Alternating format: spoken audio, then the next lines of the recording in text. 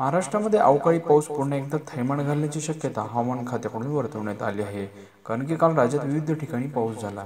यामध्ये वादळी वाऱ्यासह विजांच्या कडकडाटीसह पडलेल्या पावसानं शेतकऱ्यांचं अथवानात नुकसान केलं आहे. तसंच राज्यात अनेक ठिकाणी विजा पडल्याने विविध ठिकाणी किमान अकरा लोकांचा मृत्यू झाल्याच्या बातम्या देखील समोर आल्या आहेत. तर एकट्या महाराष्ट्रात एकूण पाच शेतकऱ्यांचा मृत्यू झाला. तर दुसरीकडे पुण्याजवळ बोर या ठिकाणी वीज पडून दोन चिमुरड्यांचा जीव गेल्याची प्राथमिक माहिती देखील समोर येत आहे.